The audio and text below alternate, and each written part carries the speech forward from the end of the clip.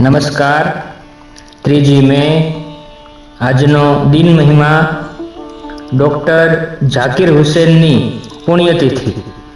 અવિસ્મરણીય શિક્ષાશાસ્ત્રી doctor Zakir હુસેનનો જન્મ હૈદરાબાદમાં ઈસવીસન અઢારસો સત્તાણુંમાં થયો હતો. વિદ્યા પ્રાપ્ત કરી ડૉક્ટરની પદવી મેળવવા તેઓ બર્લિન ગયા. ત્રીસ વર્ષની વયે ઉપકુલપતિ બન્યા હતા. એટલું જ નહીં એ હોદ્દા પર બેન મૂન વહીવટ કરી યશ પ્રાપ્ત કર્યો. ઉપરાંત સંસ્થાને કોમવાદના ઝેરથી મુક્ત રાખવામાં પોતાની કાબેલિયતનો ભરપૂર ઉપયોગ કર્યો.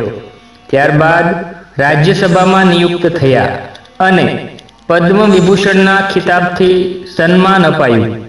ઉપરાષ્ટ્રપતિ પદ પર ચૂંટાયા અને ઈસવીસન ઓગણીસો સડસઠમાં આપણા દેશના રાષ્ટ્રપતિ બન્યા. પોતાના બાગમાં ગુલાબની બસો જેટલી જાતો પોતાને હાથે ઉગાડી. પ્રાકૃતિક સૌંદર્યના પ્રેમી તરીકે તેમણે પોતાનો પરિચય આપ્યો હતો. ડૉક્ટર હુસેન વાંચનના ખૂબ જ શોખીન અને પ્રાકૃતિક સૌંદર્યના પ્રેમી હતા. કેપિટાલિઝમ, શિક્ષા જેવા કેટલાક પુસ્તકો પણ લખ્યા હતા.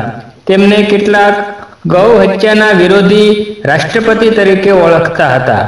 એમના ટીકાકારો પણ તેમને અલીગઢ કોલેજનું સર્વોત્તમ ફળ કહેતા હતા.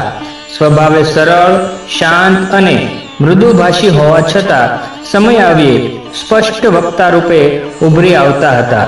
તેઓ ચુસ્ત ગાંધીવાદી હતા. ઉમદા દેશભક્ત, શિક્ષાશાસ્ત્રી અને સરળ વ્યક્તિત્વ તરીકે તેઓ જગ જાહેર હતા. રાષ્ટ્રપતિ પદની ગરિમાને શોભાવી રહ્યા હતા. ત્યારે જ ત્રીજી મે ઓગણીસો ઓગણસિત્તેરના રોજ તેમનું અવસાન થયું હતું. તેમના જીવનનું સૂત્ર હતું, જીવનનું મૂલ્ય નફા તોટામાં અંકાતું નથી, પરંતુ આત્માની ખોજ, સેવા કે ત્યાગમાં સમાયેલું છે.